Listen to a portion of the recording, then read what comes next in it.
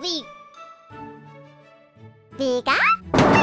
Did we get him? I, I think we got him. Finally! After five whole seasons of anime, 276 episodes chasing this one Pikachu across Kanto, Johto, and the Orange Islands, we finally got him! That's a lot of episodes, Dan. I think it's worth a celebration. Can we do the thing, please? Can we? Yes, I think we can do the thing. Yeah! Prepare for trouble. And make it double. To protect the world from devastation. To unite all peoples within our nation. To denounce the evils of truth and love. To extend our reach to the stars above. MatPat! Dan. Team Theorist blasts off at the speed of light. Surrender now or prepare to fight. Meow! That's a really weak Pikachu. You two bozos realize he's only level 40. What? But how can it be? We've covered nearly 300 episodes. And five movies! I don't know, maybe things pick up in the next 300?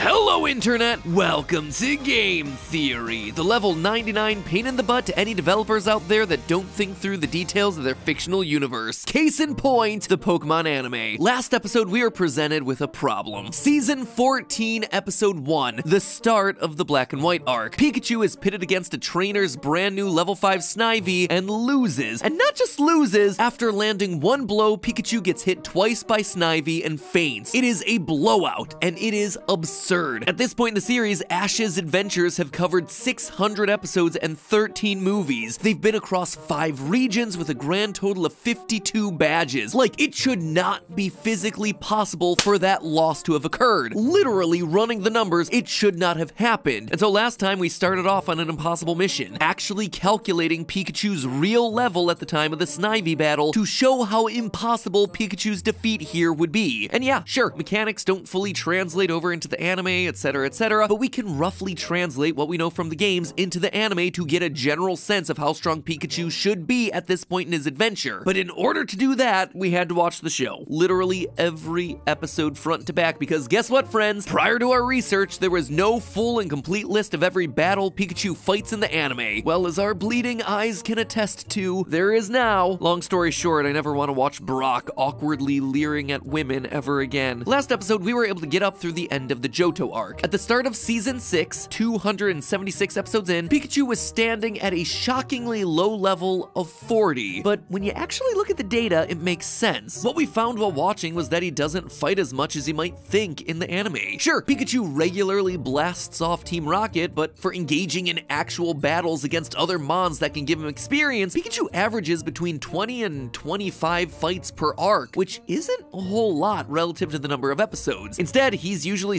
sidelined for whatever shiny new Pokemon the anime wants to promote from that generation, giving him limited opportunities to actually get stronger. So just how powerful is Pikachu? Well, we've got another 324 episodes and 8 movies to cover, and I am determined that this will not be a three-parter, so let's just get going. so far still there's always more to come. So, so much more. Always. You don't have to rub it in, theme of Pokemon Advanced. You don't have to rub it in. As we get started, a few quick reminders.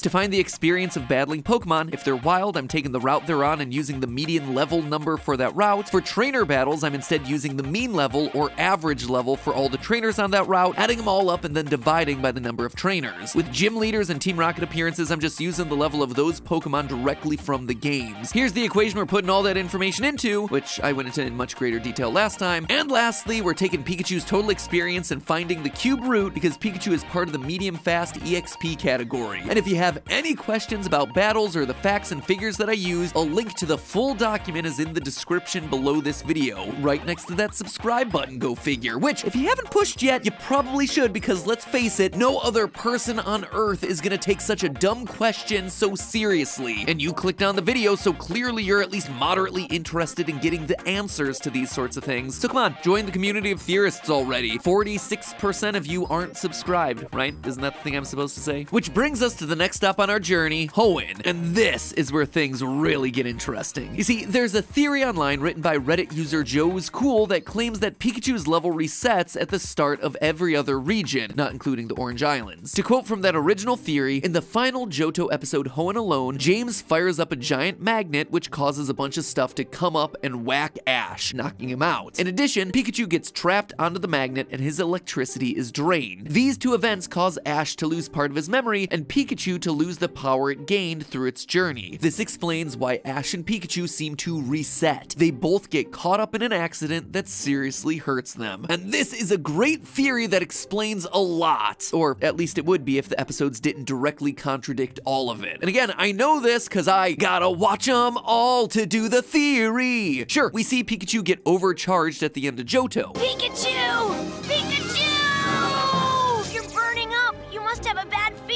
But the very next episode, the start of Hoenn, we're told multiple times that Pikachu is able to recover back to his normal state. Pikachu's output is incredible! It appears that Pikachu's electricity pressure has reached normal levels. And all this is without even mentioning the fact that Ash's memory seems completely unaffected by all of it. A similar thing happens in In the Shadow of Zekrom, the first episode of the Black and White series. In this episode, Pikachu and Ash get caught up in a thundercloud, and Pikachu gets overloaded by electricity from Zekrom. Pikachu is completely enveloped inside a powerful electric field. All that electrical energy Pikachu absorbed from the thunderstorm was too much. And that would explain why Pikachu's not able to use any electric type moves. And while it does certainly seem to hamper him temporarily, Pikachu's level again doesn't actually reset, as even without electricity, he's still able to use advanced moves like Iron Tail, that, as we see earlier in the anime, Pikachu had trouble actually learning. It's also worth noting that Pikachu fully recovers one episode later, and also also Pikachu getting overcharged is a very common occurrence throughout the series, with no long-term consequences to his power levels. Anyway, all that's to say that there isn't solid evidence of levels getting reset here. Plus, it would ruin the fun of figuring out what the big number is at the end of this thing. So, Hoenn, the playable region from Ruby, Sapphire, and later Emerald. This region spans four whole seasons of the anime and Ash returns to using Pikachu as his primary Pokemon, which means a lot more battles for him. Things start off simple enough, just a basic journey following along the path of the games, but midway through, things get a little funny as Season 8 shifts to follow more closely with Pokemon Emerald in order to coincide with that game's release. You can tell this in Season 8, Episode 18 with the introduction of Juan, who's the 8th gym leader in Emerald as opposed to Wallace from Ruby and Sapphire. The anime also includes the Battle Frontier, which is only present in Pokemon Emerald. In the end, there were 47 total victories in the region for Pikachu, nearly double any of the previous arcs. Rather than read all that information out, which would be dumb and long and tedious and no one wants to hear it, I'm just gonna list them here with the episode number, route, and level.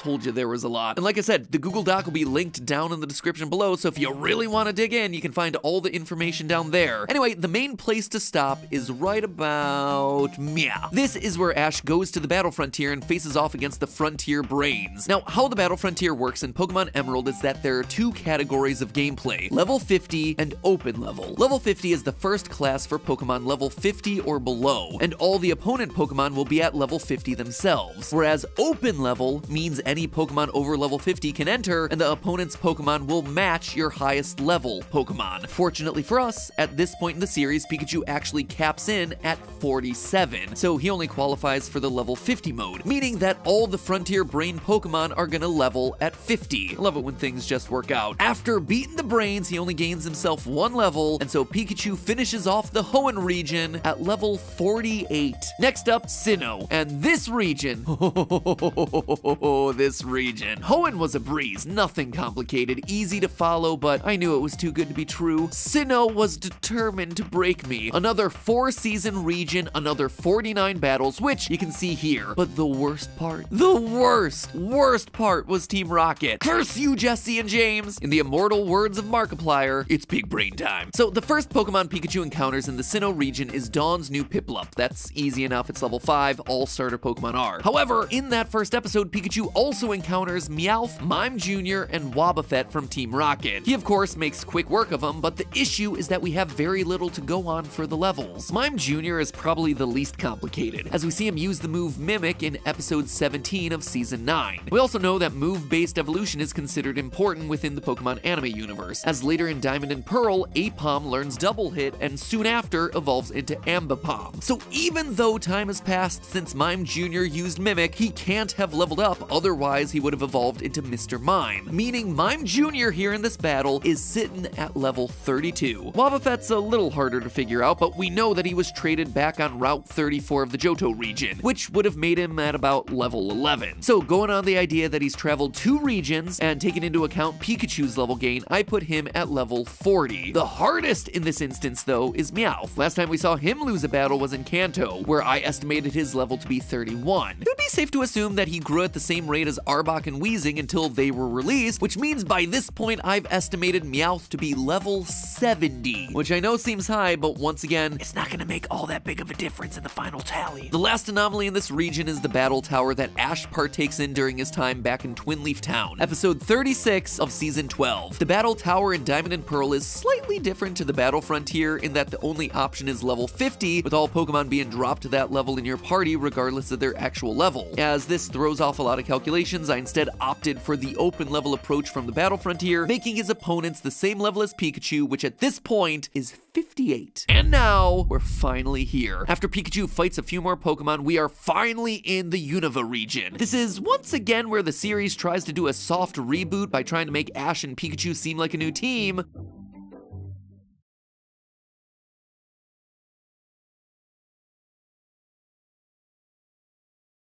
However, we know that this is absolutely 100% not true. Ash retains all of his memories of the journey thus far. When Dawn rejoins the team, we get this interaction. And later, when Dawn specifically asks about Brock cooking for her and Ash on the journey,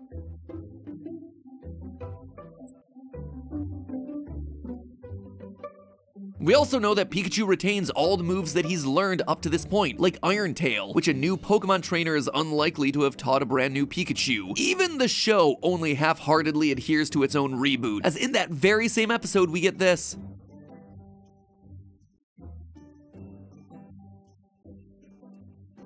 Hard to say Pikachu reverted back to level 5 when he's actively being called the world's most powerful Pikachu. So with all that being said, it means we're here. We finally arrived at that big final number. Pikachu's level in his battle against Snivy. What is he? Level 90? 100? 200? Well, strap in because that number is, after compiling all 148 Pikachu battles across 600 plus episodes and doing really elaborate calculations to get there, drumroll please, Pikachu's final level is 61. Kinda underwhelming, right? Like, he's traversed five whole regions. Most people are getting close to that level after doing a single run through a game. Even if you didn't like some of my estimations for Team Rocket battles, if we remove them entirely from the equation, it would still only put Pikachu at level 59. Any way you slice it, he's not as powerful as we all think he should be. I've seen forums of people online saying it must be 100. If the levels went over 100, he'd be like a thousand at this point. But having sat down and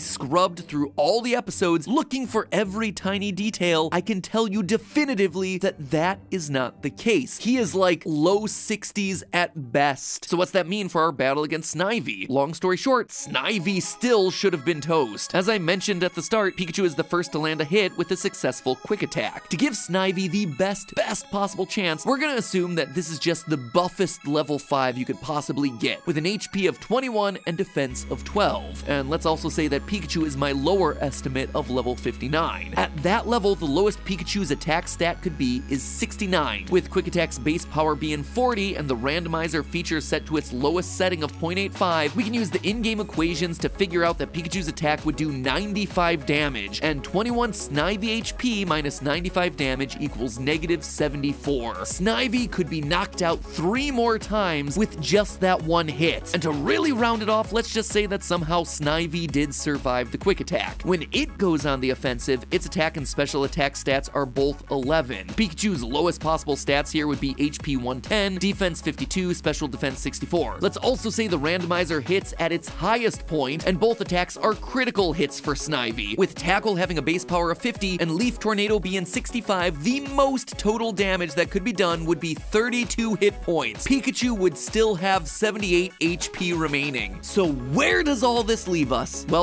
I did it. I calculated what level Pikachu is, a task that no sane person has ever completed. I feel amazing and also very, very empty. This show is just painfully repetitive. Anyway, kudos to you, Ash. Sure, you lost against Snivy, you don't know they have to weaken a Pokemon before catching it, and you didn't realize that bug Pokemon are weak against flying types, but you've managed to win against the Elite Four using a Pokemon that's half their level, and that's gotta account for something. So maybe you are better than everyone gives you credit for. Treecko! So is it a water type? No, Ash, it's a grass type. Never mind, still an idiot. But hey, that's just a theory. A game theory. Thanks for watching.